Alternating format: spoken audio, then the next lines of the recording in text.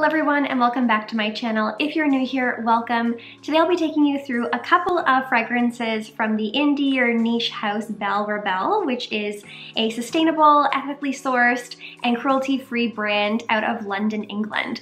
So the two fragrances that we're going to review today are uh, Bubblegum and Peach Me. So this is actually a really cool brand and I will take you through more about the brand later on in this video, but I'm sure that you're all dying to know what these fragrances smell like. So let's go ahead and get into it. So I actually ordered just a couple of samples online. Uh, they are quite expensive to get into Canada. I think that each of the samples were nine pounds each, so almost $20 Canadian. Plus I had to pay another $23 Canadian in duty. And the shipping I think was something like almost $50 Canadian. So it's very expensive expensive just to get the two samples here for you today. I didn't go ahead and splurge on the full-size bottles as a blind buy because again, I've never tried them before and I wanted to test them out.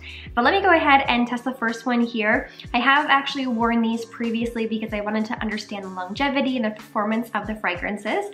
But let me go ahead and just kind of refresh my memory here. Just gonna go ahead and put it into um, the sample envelope. So the first one we're gonna be testing is Bubblegum. I have worn my pink for this occasion. Oh my gosh. Oh, okay, so the first spray of this is unbelievable. It is so hyper-realistic bubblegum. Oh my gosh, mm, that is so good. Okay, let me take you uh, through the notes here.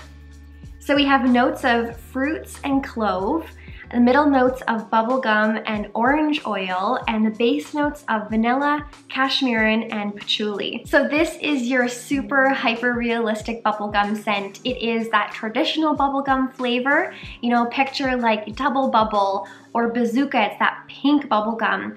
Um, it could even be the, the scent of the, the bubblegum that you get in one of those like dispensers where you pay like 25 cents and they give you a bubblegum. It is like the, the smell of the taste of chewing through the hard exterior of that bubble gum. It's that kind of like chalky white um, exterior or imagine like the chalky white powder on top of a pink bubble gum. A little bit of clove. It is less fruity than your new kind of like strawberry banana bubblegum scent that you get in like Hubba Bubba. This is more of a traditional bubblegum scent. So to me, this is very unisex because it smells so edible. This really doesn't come across as a fragrance to me. It is like you're blowing a pink bubblegum bubble and you're like getting that smell from blowing the bubble. So within about five minutes, the powdery notes begin to take over, at least on my skin. Um, you get kind of, I think the powdery notes from maybe the orange oil, the fruitiness that you get in the beginning, that like traditional bubblegum fruitiness kind of goes away and it's replaced with this powdery, soapy quality to the fragrance. Not soapy in like a cheap way, it definitely smells like an expensive handcrafted soap you would buy at a gift shop maybe, um, but it does come across a little bit more soapy, a little bit more fresh, definitely powdery. I was really hoping this is going to be a bubblegum scent all the way through because I just, I love the top so much. Like that first spray is such a burst of juicy, delicious bubblegum flavor. Like my mouth is actually watering thinking about it, but it does get really quite powdery in the mid. About an hour in, the soapiness and the powderiness gets a little bit more faint and you uh, it's replaced with this kind of vanillic candy-like quality. So uh, it would be kind of returned to that bubblegum scent. It's a lot more faint on the skin.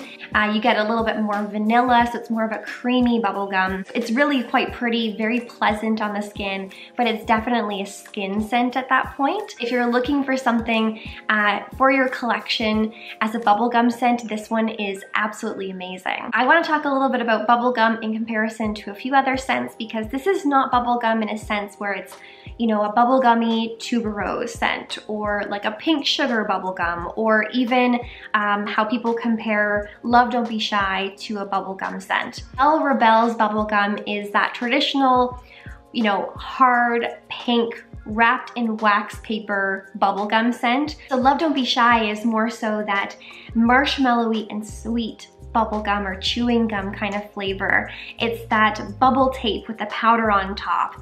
Or um, imagine like opening a package of Big League Chew. I know we're getting very specific here, but they're two totally different bubblegum experiences. Uh, so again, this is more like hard, pink, traditional bubblegum, and this is more of your foamy, marshmallowy, sweet bubblegum.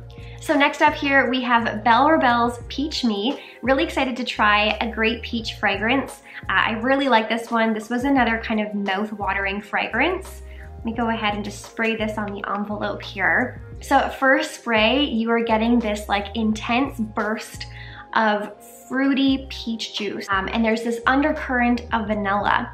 And I feel like we're getting this kind of fruity, creamy blend, similar to what you see in, I believe it's Mugler's um, Angel, I don't know how to pronounce it, Croisier? Oh, I don't know, from 2020. It's this like tropical creamy blend or fruity creamy blend.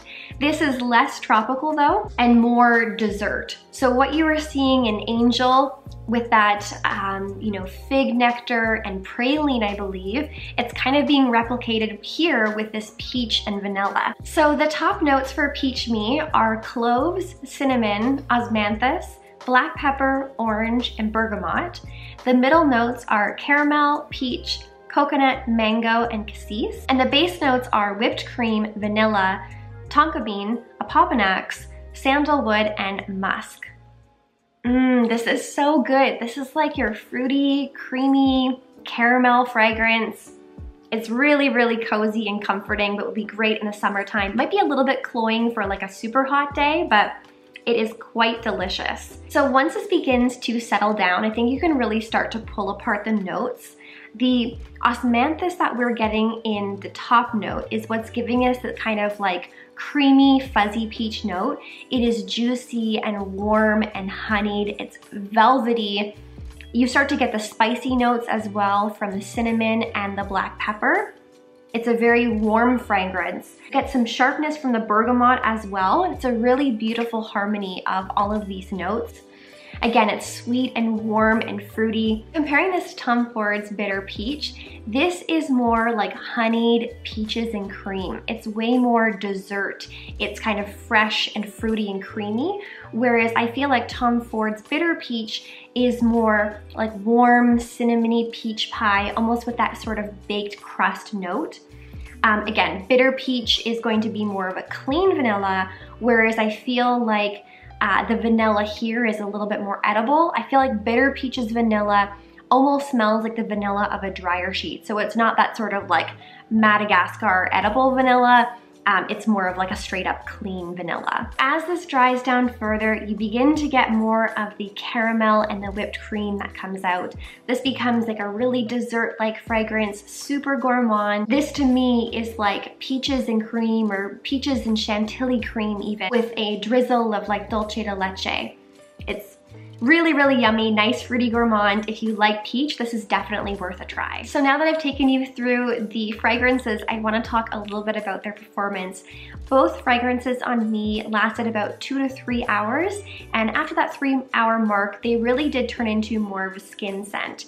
Now, these were quite icy for them to be turning into skin scent so quickly, um, but I think that they are so unique, like bubble gum specifically is so unique that I wouldn't mind paying the price for a full bottle um, just so I can experience that bubble gum scent. But keep in mind that at least on my skin, I did have to reapply to kind of live that experience over and over again throughout the day. So I do want to talk a little bit about Bel Rebel just in general as a brand uh, because I think that they are quite unique in the fragrance industry, pride themselves on their sustainable materials. So not only their packaging all sustainably sourced. It's actually grown from mushrooms in the Netherlands, so they're fully compostable.